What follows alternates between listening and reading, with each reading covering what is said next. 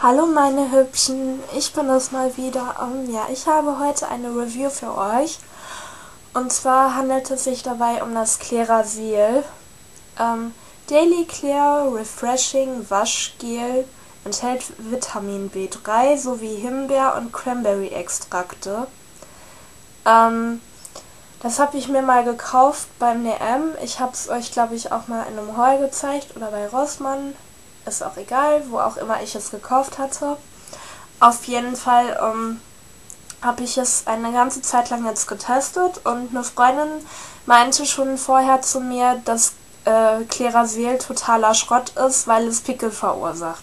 Ich wollte das natürlich nicht glauben und habe selber ausprobiert, weil ich der festen Überzeugung war, dass das bei mir ja anders sein wird, weil es ist ja so, es ist ja von Typ zu Typ verschieden und deshalb war ich dann auch dieser Ansicht, dass es bei mir anders sein wird und ähm, ja, ich habe dann halt einfach getestet und mir ist dann einfach aufgefallen, dass es überhaupt nicht so ist. Ähm, durch dieses ähm, Waschgel habe ich total die trockene Haut gekriegt, besonders hier in dieser Partie hier und da auch.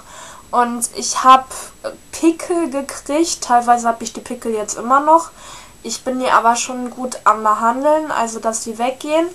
Auf jeden Fall ähm, kann ich euch nur von diesem Klerasil Waschgel abraten. Ich meine, ähm, wenn ihr Lust habt, nochmal irgendwie in der Pubertätszeit zu sein, wo ihr Pickel haben wollt, dann kauft es euch. Aber ich persönlich rate euch wirklich davon ab, weil es nicht so toll ist und es halt Pickel verursacht. Und ich denke mal, die anderen Klerasil-Produkte ähm, werden auch totaler Schrott sein. Ich meine, ich hatte früher mal was von Klerasil, das war auch wirklich gut. Aber das ist schon etliche Jahre her und die scheint die Rezeptur so arg geändert zu haben, dass man davon Pickel kriegt und sowas ist, finde ich, nicht notwendig und ähm, es ist natürlich jetzt für mich ärgerlich, zumal es das Produkt nicht als Probe gab, sondern nur als Originalprodukt, was natürlich jetzt sehr blöd ist. Aber ja, ich möchte es jetzt auch nicht wegwerfen. Ich werde mal schauen, was ich damit anstellen werde. Zur Not mache ich hier einfach so nach vorne die Sicherung auf, so, weil wenn man so macht, ist es zu und so ist es offen. Und auf jeden Fall ähm, kann ich das sonst ja auch so pumpen und kann das im Waschbecken runterspülen oder so. Weil ich möchte das auf gar keinen Fall weiterreichen und ich glaube, das möchte auch gar keiner haben. Von daher wird das wegkommen. Ähm, es war, glaube ich, auch gar nicht so teuer. Ich glaube, es hat was mit 2 oder 3 Euro gekostet. Genau kann ich euch den Preis jetzt aber nicht nennen. Auf jeden Fall kann ich euch, wie gesagt, davon nur abraten. Ähm, ich weiß natürlich nicht, es kann auch sein, dass es welche gibt, die es vertragen. Also ich persönlich vertrage es ja nicht, sonst hätte ich ja keine Pickel gekriegt und keine trockene Haut. Ähm, um das Ganze in mein Gesicht zu kriegen, also ich habe mein Gesicht angefeuchtet, weil das soll man ja machen, ist bei Waschgel ja normal.